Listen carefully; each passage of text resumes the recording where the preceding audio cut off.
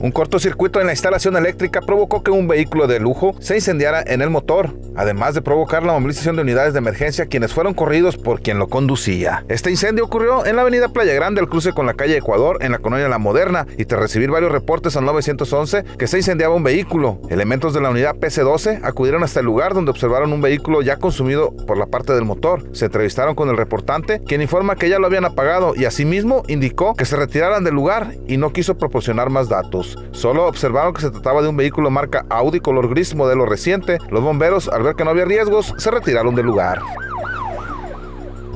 Dos sujetos, uno de ellos armado con una pistola, perpetraron un robo a una tienda de venta de productos energizantes en la colonia de Versalles, donde se apoderaron del dinero en efectivo. Los dos ladrones lograron evadir las manos de la justicia luego de huir a bordo de una motocicleta, lo cual es usual en los robos a mano armada en esta ciudad. Se dio a conocer que uno de los ladrones llegó hasta la calle Liverpool, donde se encuentran las instalaciones de la empresa OmniLife, para luego ingresar y ya en el interior amenazar a los presentes con el arma y obligarlos a entregar el dinero que había. De esta manera, los empleados le hicieron entrega de 3 mil pesos para posteriormente darse a la fuga y abordar una motocicleta en la cual huyó junto con su cómplice. La policía, al recibir el reporte, implementó un operativo, pero a su llegada ya había pasado tiempo que evitó que los sujetos fueran retenidos, ante lo cual levantaron los registros correspondientes en torno a los hechos.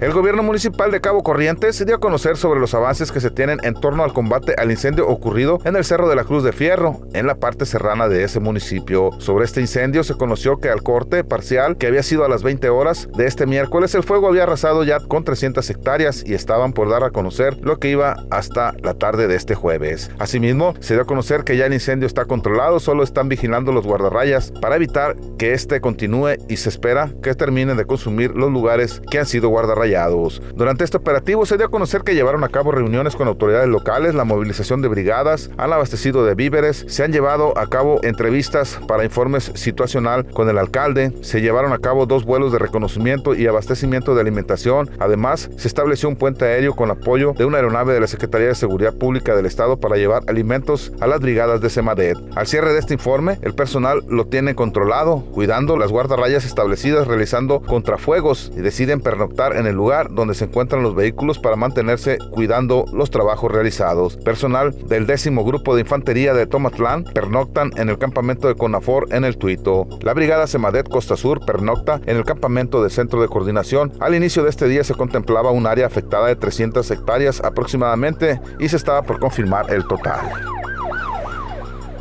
Un hombre vecino de la delegación de Ixtapa optó por quitarse la vida porque su esposa lo dejó. Fue encontrado colgado en su habitación y no pudieron hacer nada por salvarle la vida. Se dio a conocer que Laura Oxiso respondía al nombre de Rafael Rodolfo N, de 35 años, con domicilio en la calle Aldama de la delegación de Ixtapa. Mediante el número de emergencias 911, los agentes de la policía municipal recibieron un reporte donde señalaban que una mujer había llegado a su domicilio y había encontrado al joven colgado, por lo cual solicitaba la presencia de una ambulancia. Los agentes de la unidad PB 400 llegaron para verificar el reporte sobre los hechos y de esta manera localizaron al hombre aún colgado, por lo cual pidieron el apoyo de una ambulancia. Paramédicos del cuerpo de bomberos llegaron para auxiliar al joven, pero desafortunadamente ya no contaba con signos vitales. Los uniformados procedieron a llamar a la gente del Ministerio Público para solicitar mando y conducción y de esta forma iniciar con el llenado de registros. Personal del CMMFO llegaron para hacerse cargo de llevarse el cuerpo al anfiteatro para practicar la necropsia y de esta forma esperar a que el cadáver fuera reclamado por sus familiares.